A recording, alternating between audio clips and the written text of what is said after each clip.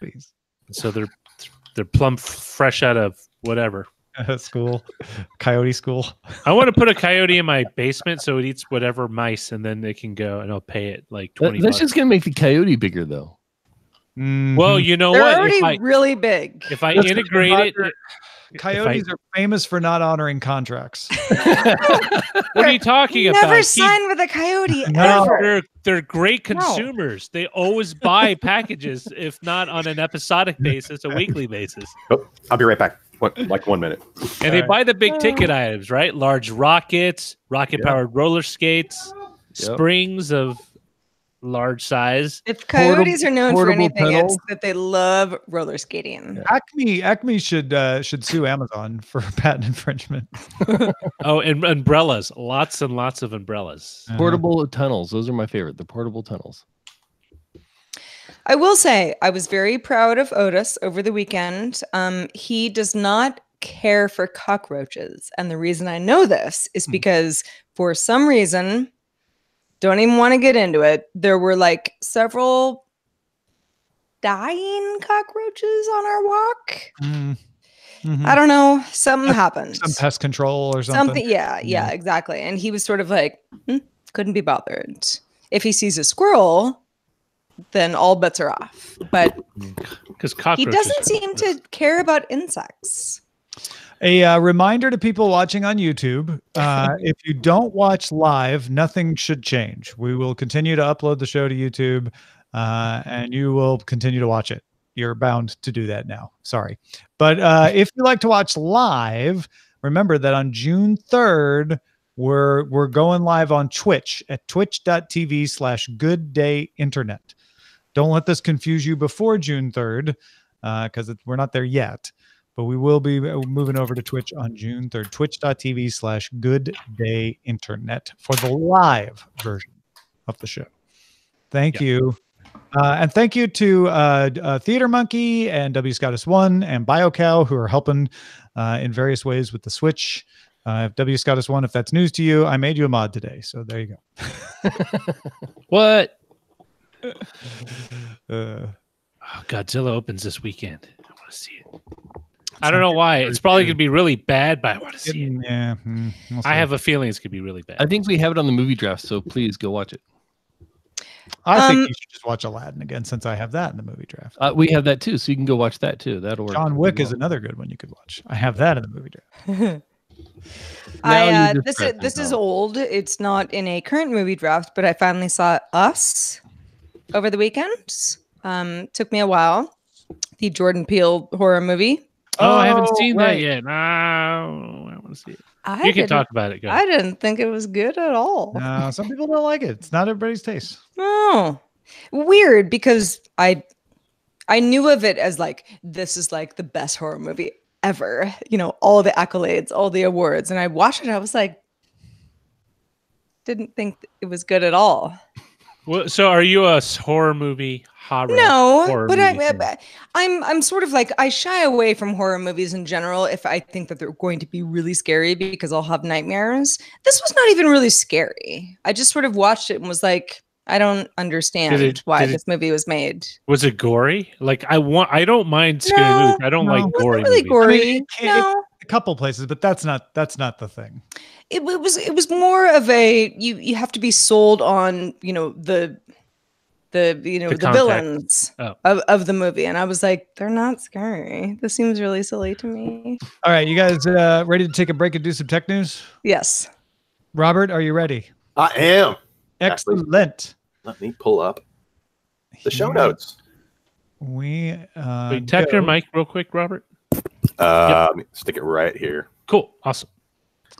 Here we go. In three, two. Monty Vanderbilt has supported independent tech news directly for around five years. Be like Monty. Become a DTNS member at patreon.com slash DTNS. This is the Daily Tech News for Tuesday, May 28th, 2019 in Los Angeles. I'm Tom Merritt. and from studio feline i'm sarah lane And uh, from uh, Parts Unknown, I am the show's producer, Roger Chang. And I'm the intern, Anthony Lemos. also producing the show today. Uh, and joining us, uh, co-host of AVXL and HDTV reviewer Robert Heron. Welcome back, Robert. Hey, thank you. Always good to be with you guys. Always good to have you here uh, to tell us what's going on in the fast-moving world of televisions and TV the- and home theater. Let us start, however, with some Computex things you should know. AMD announced the three first three new chips from the third gen Ryzen lineups will arrive July 7th. They are two 7 nanometer Ryzen 7 CPUs and the first Ryzen 9, all on the existing, existing AM4 socket and claiming to be the first PCI Express 4.0 compliant desktop platform. The Ryzen 7s double total memory cache to reduce memory latency. AMD also announced the first GPU to use its new Navi architecture. The 7 nanometer Radeon RX 5700 features GDDR6 uh, memory, delivering 25% better performance per clock per core and 50% better p- power efficiency than existing Vega based cards. The RX 5700 will be released sometime in July. It's Hardware Palooza at Computex. NVIDIA announced Turing based Quadro RTX professional laptop cards. The Quadro RTX 5000 has 3072 CUDA cores, 384 Tensor cores, and 48 RT cores, paired with 16 gigabytes of GDDR6 RAM. 17 laptops from Asus, Dell, HP, MSI, Razer, Gigabyte, and Acer will carry the new cards with the branding RTX Studio. Aside from the cards, the laptops will also feature the NVIDIA Studio Stack, a software SDK, and APIs designed to speed up video editing, rendering, and vector animation. According to NVIDIA, RTX Studio laptops will start at 1600 bucks starting in the second half of the year. ARM also announced the Cortex A77 CPU and the Mali G77 GPU. ARM claims that the Cortex A77 improves performance by 20% per clock over the previous A76, with 25% better machine learning performance as well. The Mali G77 GPU uses the Valhalla GPU design with 40% overall better performance and 30% more power efficiency than its predecessor. It also runs machine learning interference and neural network loads 60% faster. And let's see, AMD, ARM, uh, what NVIDIA? Oh, right, Intel. They still make chips. Intel showed off the Core i9 9900KS. It's an eight core, 16 thread processor capable of running all cores at a turbo frequency of five gigahertz. Technically, the CPU has a stock frequency of 4 gigahertz, but it'll only run at that frequency if a motherboard uses default Intel BIOS, which generally isn't the case. Intel confirmed this isn't new silicon. Rather, i90 9900K chips specifically are binned to run at the higher frequency all the time. Pricing, release, and power consumption were not announced. Intel also announced it will start the 10th generation of its core line of processors, codenamed Ice Lake, with a series of laptop oriented chips. So there's the chip. The chips were all down at Computex. Uh, if you wanted to know Or up. chips. Yeah. I mean, I guess the, the the chips were up for the chips that were down at Computex. Depends on how you phrase it. Anyway, let's talk a little more about uh, Apple announcing a new product. I'm excited. What is it, Sarah? Oh, Tom, I'm glad you asked. Apple announced an update to the iPod Touch, which includes an A10 Fusion chip and a new 260, uh, 256 gigabyte storage model. Now, you might say, "Mm, is that really relevant? Well, it's the first update since the sixth gen iPod Touch was released back in 2015. So, know, it's four years in the making. The new iPod Touch starts at 199 for the 32 gig model, 299 for the 128 gig model, or $399 for the new 256 gig model. I'll be honest, I never thought Apple would update this product line again. I figured they would just phase it out uh, and and figure, you know, people just buy the cheapest iPhone available and maybe pop the SIM card out if they wanted to give it to a kid or something uh, and not give them a connection. But uh, this this is there because somebody's going to buy it. Do any of us, Robert? Do you have any idea who the market for new iPod touches are? Maybe, maybe somebody who wouldn't want to use their mobile device and a streaming service, or you're not into doing it yourself with your mobile device, which probably already has a really good, you know, audio digital converter built into it, uh, or analog digital converter. I, for me, it's it's definitely not for me. But if if you wanted that standalone device though, that could just literally store all of your compressed tunes and be able to take that with you anywhere, like on the plane or or somewhere you're not generally going to have internet access, that it could be cool. But I have gigs of storage in my phone, plenty to hold all the songs I could possibly listen to in a month. So it, Yeah. it, it To ain't for me. to me this seems like um you know it has an advantage over you know again like swapping out a sim or taking it, it out and you know giving it to your kid because it can run the latest ios better um, and the idea that it's not a phone but it could play lots of games as long as you have a wi-fi network also makes sense to me the price is high for that but i think that apple is is banking on the fact that it wants more and more people to be subscribe to its various services and the iPod Touch would be another way to do that.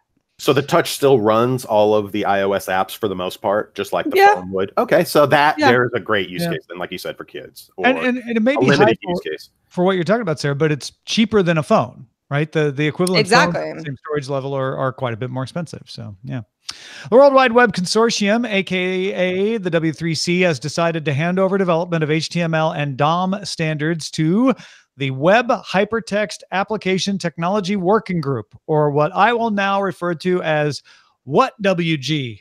Uh, what WG was started by browser developers. Uh, the, the developers were originally at Apple, Opera, and Mozilla. Uh, one of the Opera guys moved to Google. So now the group is made up of people at Apple, Google, Microsoft, and Mozilla. And that group was founded in 2004 to help speed up development of HTML standards.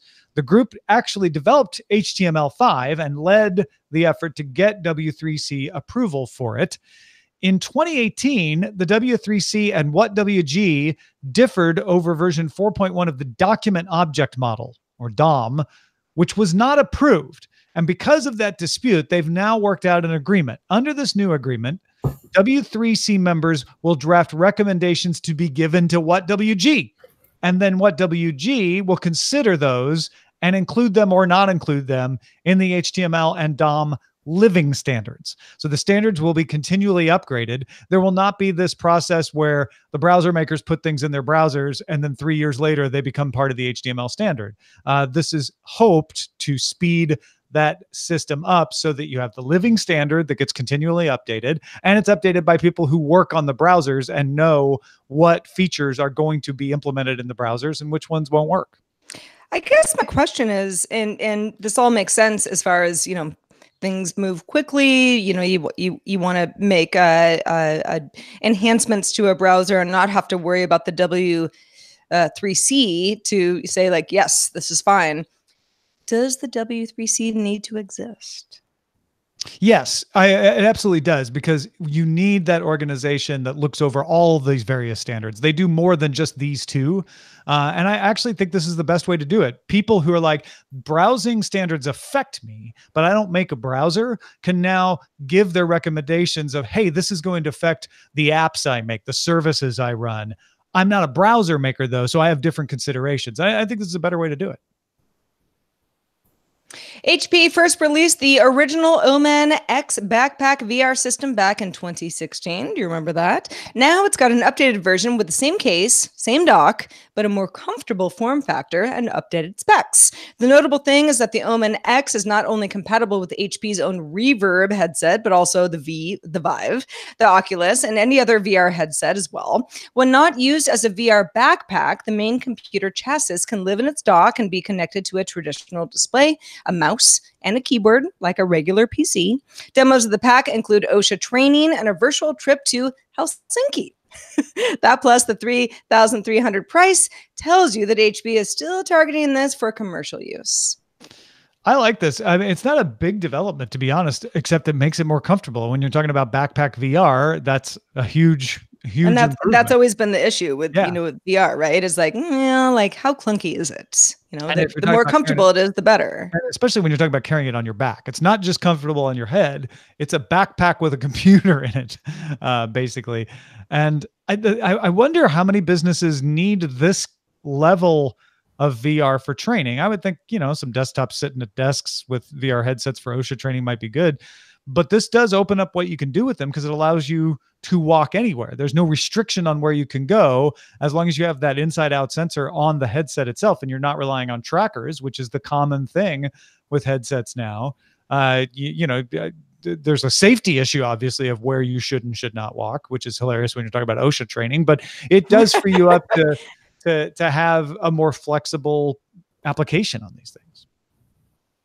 Well, I've never been to Helsinki, so I'm excited to try it out. Obviously, Honestly. that too. Robert, what do you make of this stuff? it's interesting. It's it just seems like a hack until we have phones powerful enough to drive these kind, or at least smaller computers that have superb all day battery life that could still drive a VR headset. Granted, you ain't getting 4K for two eyes at 120 hertz or 90 plus hertz out of any mobile device right now. So if it still requires the backpack, and if they can somehow maybe incorporate enough battery power to make it truly portable, especially if you're going to be using this commercially, likely in different scenarios and scenes, be it indoors or outdoors, I, I don't want to be tied to an extension cord. It- it- otherwise, I might as well just set it up in a room and do it all there.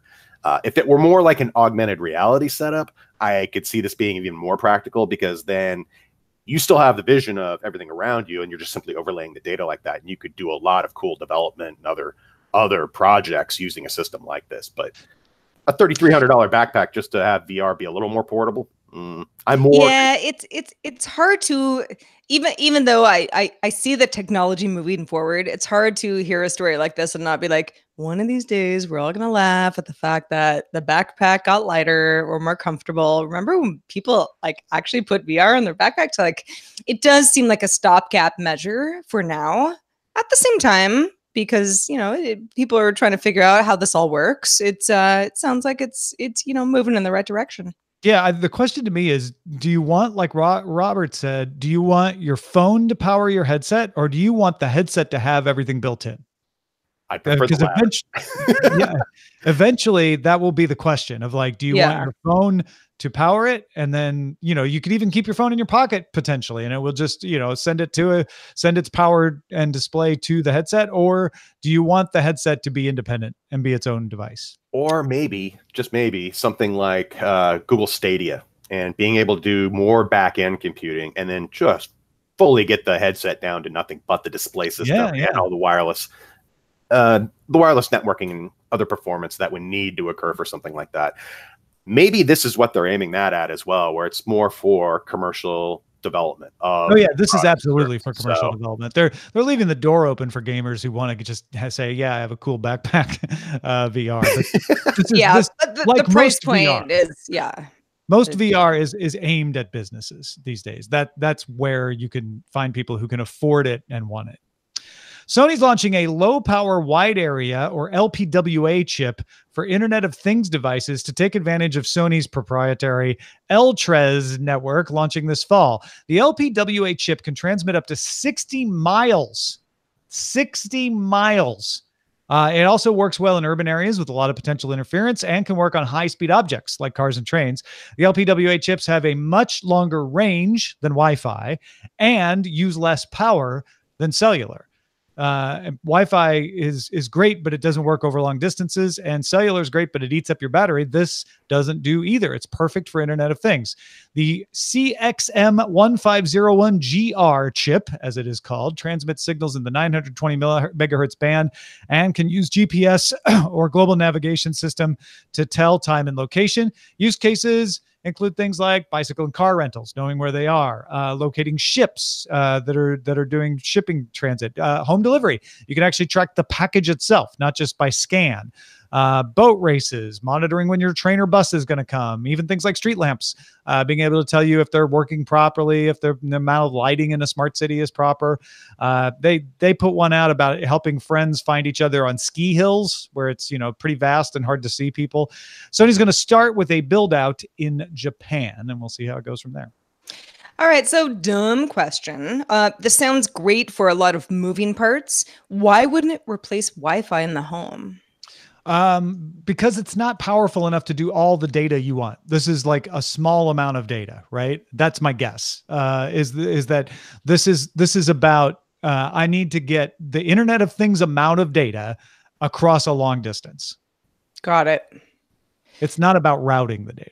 Yeah, yeah, yeah. Well, I mean, man, I, you know, as a as a person who seeks to live on a train one day, I I love the idea of this. Um and it, yeah, like maybe a ski slope doesn't really apply to me, but but I get what they're going for here and uh it sounds like the, the tests at least uh so far have been really promising. It could also possibly be used as just a like an over-the-top tracker as well, something like the uh, tile Mhm. chips used to be. And if you could do something that truly had its own, well beyond Bluetooth range, where you you know a few miles even through buildings and things like that, and to be able to you know have it at least send out say GPS coordinates for where that object is, and if you could then have the whole thing nice and compact and last a few years with low Yeah. power, that would be fantastic. this isn't going to stream Netflix. Uh, No. But if you just need a, a, a light or, or a bus to be able to say, I'm here, I've looked at my GPS and I know where I am, uh, that, that's what this is for. I'm curious if there's any non proprietary versions of this under development as well out there. If anybody's aware of that, send us an email. I've seen several chips like these in other just people putting together cool uses as to what to do with this technology. And there's, I want to say Sierra Wireless is one company. I don't know if Sony worked with them on this at all, but there are a few companies out there making these types of chips and to make them as low power as possible, just so that you can literally make a portable device with, say, one of those coin cells, lithium ion cells, that Yeah. could literally last a few years and and make it a just a and or user user repairable in terms of just being able to swap a battery out and and to have that distance and to do cool things with it for you know be it minor data transmitting or i don't know It- it's kind of like figure Great out smart cities, smart city stuff where you need wide range because you don't know exactly where you, you might want to be collecting the data at any point, uh, especially as cities grow. and then you could also think too in along that same line it's just something like location data having small devices that are in fixed locations able to transmit a specific i am exactly right here and if your phone can see that Mhm, then mhm. even indoors you would know exactly where you are. It could fold into something like that too, which would be fantastic. On to Africa, everybody. Are we ready? The BBC reports on a container with solar panels pulled by a donkey. Yes, a real donkey that uses touchscreens to improve digital literacy in Mozambique. That country sits between South Africa and Tanzania. Now, while Kenya, which is in the news often, two countries to the north, has 91% mobile penetration, Mozambique has less than 50%. The project is called Community Tablet. It's founded by Mozambique's Day Armad. A three minute movie plays to introduce people to the topics. There are prizes like t shirts and caps that are given out, and the audience can use smaller touchscreen tablets to answer questions about what they saw. The idea to educate and empower communities on topics like public health, mobile banking, and also voting. Yeah, this is great because uh, a lot of times these these education efforts uh, will uh, involve pamphlets, uh, just just- and people just throw those away. Says uh, Right. Dayamon. Uh, so this is a way to just get people's attention because you're giving away caps and T-shirts, and you got this big old container, and they've got the touch screens, and it's fun, and it's it gets people to uh, interact with it learn a little bit about what they want to teach you whether it's about voting plans or or mobile banking or, or whatever and then spread the word and tell other people who then come back. So uh, he's he wants to make this a franchise. Uh, he, he he's been getting funding from ngos uh, so he would like to do this more often but i just found it a fascinating use of technology. It's like let's not worry about connectivity. Other people can worry about that. How can i take technology and combine with, with what i know and what works Yeah. and go and teach people in my own community because he's from Mozambique. And he said he was inspired by his kids. He saw his kids looking at YouTube and figuring out how to stuff. And he's like, man, if I could just take a screen that shows how to stuff to people in rural areas, uh, suddenly we could educate people a lot better. So that's Well, what he and- did. And when you're talking about a you know a, a country with with many people, many residents, uh, internet literacy under fifty percent, there's so much potential. You know, like does it go the right way or the wrong way? You know that that has has yet to sort of uh, prove itself, but uh, it it it it's it's a really good place to try something like this out. Folks, if you want to get all the tech headlines each day in about five minutes, be sure to subscribe to dailytechheadlines.com. All right, Robert, uh, I know you were at Display Week in San Jose not too long ago, uh, looking at a bunch of display technologies. What did you see? Heck yeah. Uh, there were lots of cool new 2019 TVs they were showing off, of course. But I think right off the bat, I'll talk about some of the future tech. This is a, a show, Display Week. It's part of the Society of Information Display. And it's their annual show to bring in a select groups of vendors, as well as even folks like college students who are working on projects. And they have separate zones where you can see some of the really cool cutting edge things they're working on. One of the cool things was at the show uh, was an updated version of something we saw back at CES from Hisense, and this was what they called their dual cell LCD technology. Effectively, you're using two LCD panels smashed together, one to handle the color and the other to handle the contrast. And the demo we've seen previously used a 4K panel up front for the 4K resolution and color, and then behind that screen was another LCD screen that was 1080p, allowing it then to modulate the backlight and to be able to really do near per pixel level control of how bright each pixel is or dark. Uh, very similar to what OLEDs are currently capable of in terms of producing that inky dark black, where the pixel right next to it can be on at full blast without any kind of blooming or halo artifacts. This was simply showing yet another step up to it. Instead of using a 4K panel up front and a 1080p panel behind, they said, well, we've got this figured out pretty well. We're just going to go ahead and make it 4K all the way through. So each individual pixel on these TVs coming up will feature its own individual pixel just to moderate and modulate the light coming from the backlight system.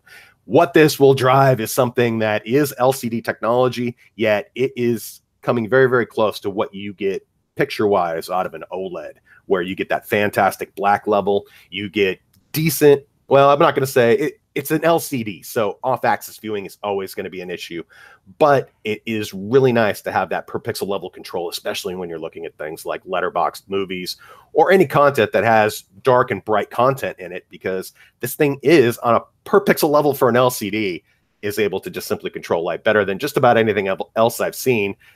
Big questions will be cost. I mean, does, how much more will it cost to actually sandwich a 4K panel to another 4K panel and make that all work fantastically. Uh, BOE is a Chinese manufacturer of panel technology, including LCDs and OLEDs, and they are the ones actually developing this panel with Hisense. And they're saying 2020. I want to say we'll probably see a demo of the 4K by 4K panel coming later this year. And overall, it was just impressive, e- even in its current state of the 4K and 2K panel. That's still a good level of control over per pixel lighting, and it just overall was just sweet and fantastic to spend some time glo- uh, staring into. If you really want to look into the future, though, we're all talking 8K, and Japan Display Incorporated has been at the show for uh, many years now, and they show off one of the coolest demos I think you'll be able to see anytime soon. And it's an 8K panel about notebook size. I want to say it was about 17, 18 inches, 120 hertz, 8K resolution, and full Rec 2020 color, which is about, let's see, DCI, which is used currently in your Blu ray movies, is a larger set of color than you would have, say, with your regular HDR content or uh, SDR content. And now 2020 is the full spec in terms of almost single wavelength primary colors, red, blue, and green, being laser like in terms of that level of saturation and that ability then to display that at 120 hertz with an 8K panel. And they had moving content showing the difference between 60 and 120 hertz. And that was all cool. But really having that full color palette of Rec 2020, which nearly encompasses every color you can possibly see in life it was the most and this is like something that the human eye can discern. This was the most window-like LCD I have ever looked at, and it was just delicious. It actually used a laser-based backlighting system in order to achieve some of those super saturated, rich colors. Uh, another panel that's already on the market, but they were happy to show this off in comparison to other premium OLED TVs, was Vizio's P Series Quantum X. This is an upgrade over the standard P Series Quantum that's already out and about and a terrific value. 65 inch TV. They also have a 75 inch version. Big things about that will be the fact that it's dumping out close to 3,000 nits of light output. Supports all the HDR formats you like in terms of HDR10, Dolby Vision, and it's just going to be a good value. Actually, the P Series Quantum X is starting off where the original P Series Quantum started in terms of its pricing. And we're already seeing in terms of like if you go into Costco, they have the current version of the P Series Quantum for about under fifteen hundred bucks for that sixty-five inch version. This is just good value. I'm I'm not the biggest fan per se of the uh, Chromecast enabled TV apps that are in the Vizio TVs. It's it's just sometimes it can be a little odd. Like there is no native YouTube app, but in terms of TVs overall, that one was just utterly for the money. It's one of the very brightest TVs out there, and it's going to be a very good good one to get in the lab and test out. Otherwise, if you want that OLED LG C9, that is their least expensive flat panel flagship that has their latest second generation Alpha 9 processor. Fantastic. Uh, compared to absolute uh, the absolute picture quality of this TV compared to the 2018 model, not dramatically different. In fact, if you could find the 2018, I guess it would be the C8 on sale at a really good price. Don't don't feel too bad about not, not going with the C9. But if you do, you get some good updates, including some new calibration features if you're a super video nerd in terms of just being able to eke out the best picture quality possible. Better handling of HDR content, uh, able to handle content that's been formatted for different luminance levels better. Uh, there's generally about three standards used in all of these 4K movies we're looking at, varying the brightness and the luminance output depending on how it was mastered. Uh, some some authors are looking at content on monitors that only go so bright. So it's very hard for them to say, well, what would it look like if it were using the full spec of the HDR standard? And this in particular was just fantastic. Uh, beautiful picture quality overall. Now, if you're looking for LCD stuff, I will say the big thing about 8K TVs this year, and right there is a picture of Samsung's Q900. That's their flagship 8K TV here in the United States. I think it's called the Q950 in Europe. That is a fantastically bright TV with some of the best upscaling I've seen to 8K. This demo, uh, actually in that picture I was looking at, was several standard definition sources on, I think they were doing 480 on up to 1080 and just looking at how that scaled up to the 8K panel, considering we have very little 8K TV out there. The Q900 is the 8K version, and they also have a Q90. That's their 4K version. Single coolest thing about, I think, Samsung's TVs, in addition to just pretty damn good image quality overall, is an anti-reflective layer that's on the front of their TVs. They're currently the best at producing a film material that does amazing work in terms of minimizing a, a, bright light in the room that might be reflecting off the screen and into your eyes. It minimizes that more than anybody else's tech currently.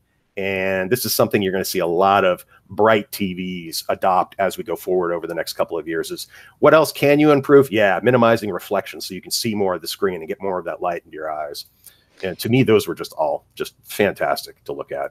You know, Robert, while we have you, and it, it harkens back to a few weeks ago when a lot of people watching Game of Thrones said, I couldn't see the long night. It was too dark. Yeah. Of, of these TVs, these upcoming TVs, if I'm in the market for an 80 inch or thereabouts television, which I am, my, my Samsung TV is, you know, it's smart TV, but a little long in the tooth. Where would you point me if I, if price was a, a, the most, the biggest consideration? Okay. For, for what size screen? 80. 80. Well, the, Yeah. NU, the NU8000, it's a 2018 Samsung TV. It's, I want to say 82 inches and it is 4K. It does support HDR formats, including HDR10. And it, it uniquely among the among the non-top tier TVs out of Samsung, it also supports an automatic game mode and automatic refresh rate control. So if you are into gaming and you don't like fiddling with the controls every time the TV flips into game mode or not, or having to do that manually, this is something you could really jump up and uh, take a look at. That is also just one of the best deals because once you get above, say, 75 inches for any LCD screen, it's suddenly just the price used to skyrocket. And Yeah. I, I will say in the last two years, and this year in particular, that's like 75 and bigger is the new 65 in terms of pricing and availability. That's what I'm hoping. It is. your it answer, is yeah.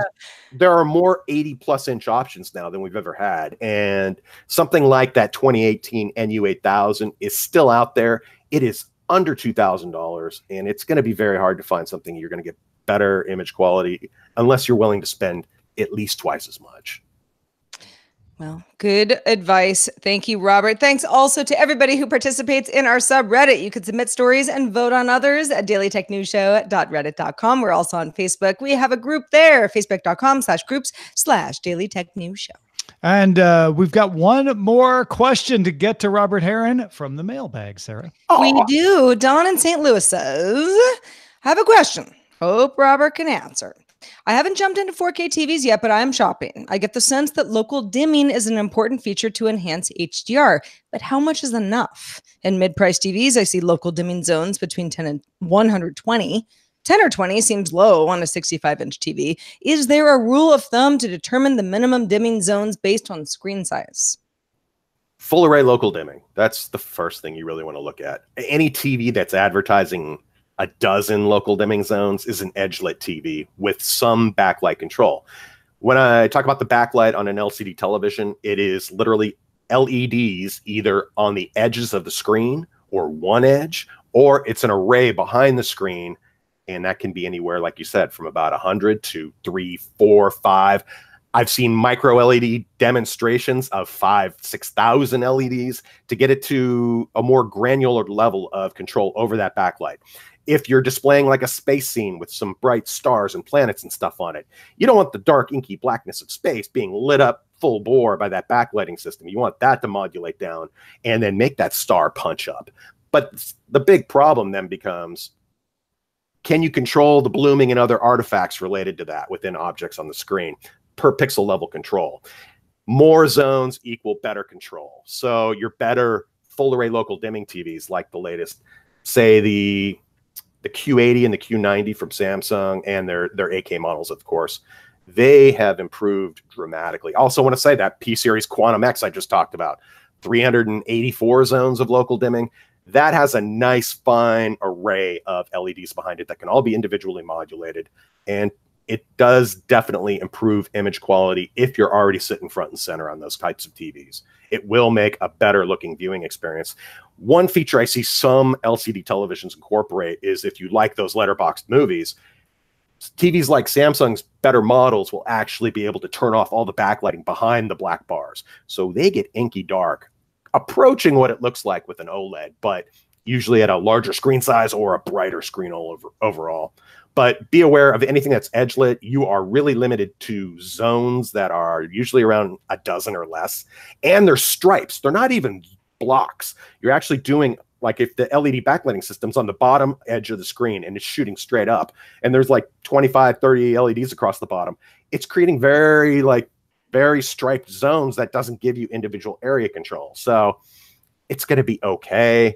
It's it it is what it is. So it, it definitely costs it costs less to do it that way compared to having you know three, four, five hundred LEDs behind the screen, each being modulated individually depending on the content. Well, Robert Heron, we could talk about this all day. Unfortunately, we can't. However, for everybody who's who, who who's very interested in learning more, where can they keep up with all of your work? Yeah, take a look at my old website that's going away soon. Thank goodness, I'm almost done with this.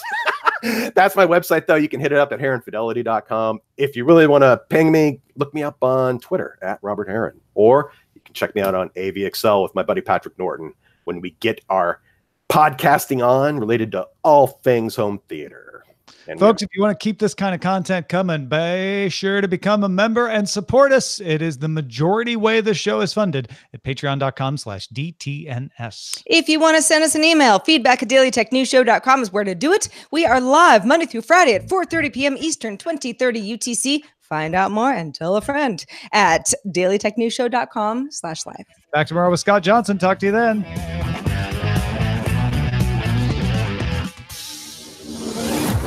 This show is part of the Frog Pants Network. Get more at frogpants.com. Diamond Club hopes you have enjoyed this program. Always so good with the. Oh, so good. I'm going to get a new television. Yeah. I was going to say, though, if, if you have room for an 80 inch screen, sure. Uh, also, consider if you're going to spend two grand on like the least expensive, worth it 80 inch screen, Yeah. consider, consider a projector. There are so many uh, superb projectors out there that cost a, a fraction of that cost. You think That- so?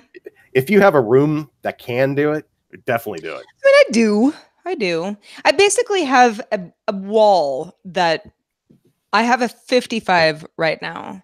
And it's not a big wall, but it it's sort of like every time I look at it, I'm like, it should just be the whole wall should be the television. I hear you. You I- know, I just I just see it in my head. So that's what I want. I swapped up a 55 to a 65 in a smaller room, and I felt in no way that it was too big. So yeah, yeah. eh, The, I mean, the 80 is it's a little it's a little silly. but if you have a friend of mine has one, and like wall I was over at his house the other day, and I'm like, I just want it. I want it. I've been in if you have a larger living room, you definitely should be looking at bigger screens. They just fill the area better, and, and you already have the room for it. Cost is always going to be the issue. Granted, yeah. Yeah. I love the I love the Q900 from Samsung at like 80 some inches, but what's that?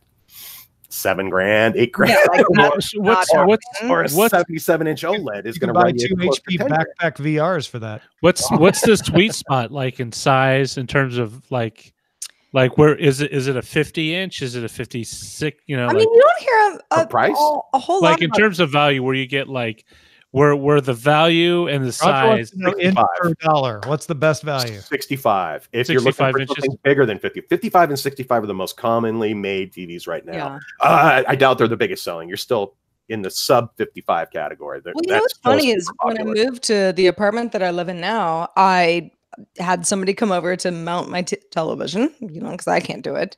And uh, you know, they asked beforehand, you know, what size, and you know, give give me some specs so we know what to bring. I said 65, and he came and he looked at my TV and he's like, "This isn't a 65, it's a 55." And I was like, "It is? Oh, all right, I can move up quite a bit." So maybe if I got a 65, it would still seem significantly larger. I mean, budget permitting, 65 inches, the LG OLED is going to be the best piece of eye candy you Yeah. can ever look at. That's But what I've it- got. That, it, it just every day, every day you're going to love that thing. Just, And I mean, there's, what ab- there's nothing more fun than a new television. But I will say the new the new Samsungs are looking good. Actually, Yeah. even TCL, if you really want a good value, their new 2019 S series, I think they have an S4 now. That is not HDR really. Uh, it, I don't believe it even has a wide color palette, but it has that Roku interface. It's like 250 bucks for a, a Wow. 40 That's, that's for a another thing. that, 49 like, inch screen. the smart like, TV crazy. capabilities of this is, it, are, you know, sometimes on paper they sound good, but in practice, how many people are using their smart TV?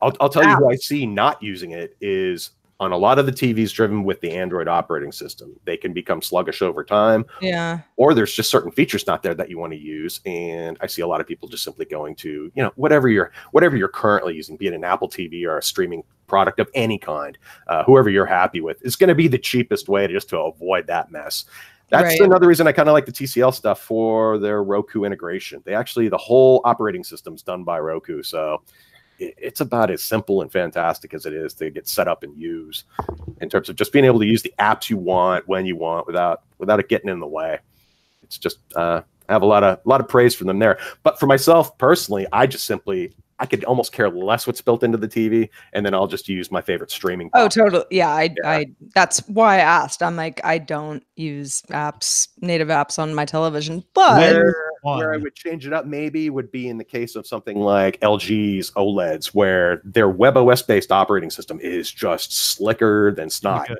and it works well. They support every app I want. All of the little format support things like, oh, I want to watch Netflix in Dolby Vision. That's all right there. You don't even have to think about it. Just hit the button and go. That's when I end up using my smart TV because I have an LG OLED, and I will use it for things where I'm where I don't have an app capable of it on a set top box on a Roku or an Apple TV. Um, so but like, that give me an example. becomes- well, when I first got it, I didn't have a 4K capable Roku or Apple TV. They existed, but I just didn't have that. So I would use the apps there. But yeah, so so Dolby Vision, surround sound, stuff like that. Or there's some apps that are available on the LG that are not on the Apple TV. Uh, they are available on Roku, but I end up using Fandango now on the LG because with Roku, it's built into the operating system, which makes it kind of clunky to use, and it's not even available on the Apple TV. So that's one that I'm I'm always using it on on the LG WebOS. And like you said, Robert, that that's a really clean OS. It is. That was the best thing they bought. And to this day, I would say that the latest version of Samsung's operating system, their Tizen based OS on their TVs, is about as good as it gets. But if you're going to ask me to pick and choose, LG has that magic remote and it literally acts like a mouse cursor on the screen. And I love that interface. That is the Sometimes fastest. I just end up using the arrow keys though because I'm like, ah, my hand's too shaky. I'm It's faster.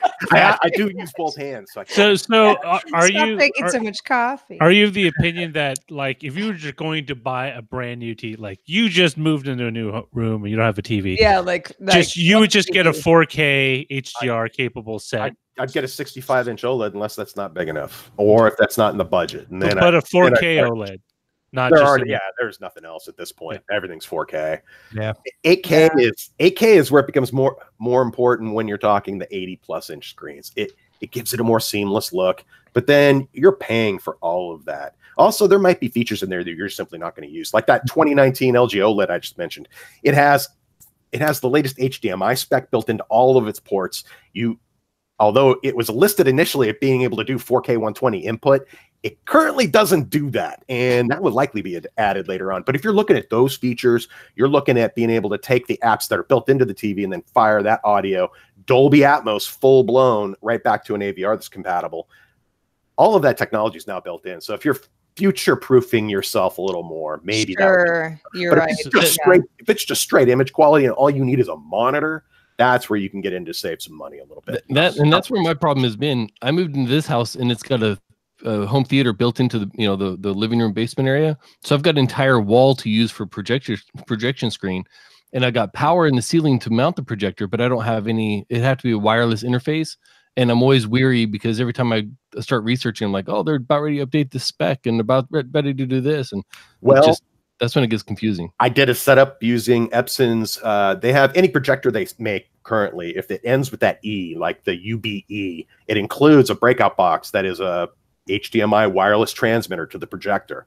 Currently, and it does use 60 gigahertz technology, so it is slightly compressed, but I would say visually indistinguishable from lossless.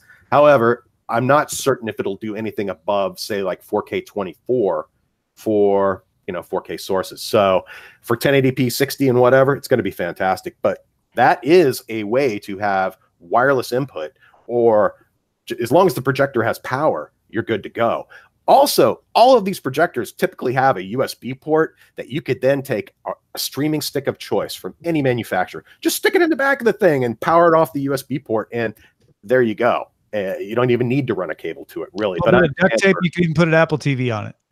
anything you want but i don't But then you have to worry about the getting the audio to the speakers that are mounted in the wall in front of the room. Like it's Mm. yeah. Well, that would just be it would be that would be coming from the source device. So say it was like a Blu-ray player, or mm-hmm. in the case if it were going to be a wireless transmission to a projector on the ceiling, you would probably want a separate box for like a, a a Roku or Apple TV or whatever. Then you could have the audio go to the AVR and the Mhm. video being sent appropriately out to the display. Speaking of speaking of audio, Robert, just because I have you, um, I'm sort of I, I'm sort of in the market for a sound bar, and I'm, I I was looking at the Sonos because I've already got Sonos all over my house. yeah, I mean, love the beam, the beam seems like a good option. I've been living with the Beam for about six months now, and Yeah? it's not leaving my TV anytime soon. I just did the update to Google Assistant. which yeah, I was Yeah, happy to be able to even have that option. Uh, I really don't use voice assistants, but I do appreciate the button on the top of the beam that lets me turn off the microphone altogether. So, audio quality wise, especially if you're an iOS user, Sonos is some of the best products out there for the money. I mean, yeah, you will not be disappointed. And in the case of IO, the iOS app, it has a room tuning application built into it where you literally use your phone as a listening microphone and it further optimizes that speaker for your given room environment. And you can toggle it on and off. And I've always found it did a pretty good job. Yeah. I I for my Sonos ones, um, when I moved to my latest apartment, it because we have some weird uh ceilings here, you know, a lot of slopes and just kind of funny angles, and it did make a difference. Made a real difference. And if you're already using uh, the the Play Ones, perhaps you could also link those in to be surround sound speakers and using something like the Beam as your front three channels, or, or however you want Which to do it. yeah, we've talked about on, Down the road, you could throw in a Yeah. wireless sub. I mean, that's nice to do. Exactly. Value wise, there is absolutely nothing wrong with Vizio soundbars. They start at about 80 bucks. I would go for one that has a wireless subwoofer with it. Uh, and, you know, that's a good starting point. Obviously, if you can go with something like Dolby Atmos with ceiling speakers and the whole nine yards, Sure. that's going to sound But 80 bucks sounds pretty good too. Yeah, you know, all things Yeah. considered, it's going to sound better than any TV speakers. And if you have somebody who might have listening uh, inability to hear dialogue clearly or things like that, these devices can really go a long way toward helping. Just to We're going to wrap up our video right there. Uh, the show today, if you were wondering, is called TVs Pushing the Edges. Uh, GDI will likely be called Man Rats. Video people, thanks for watching. Audio folks, stick around. There's more to come. Because all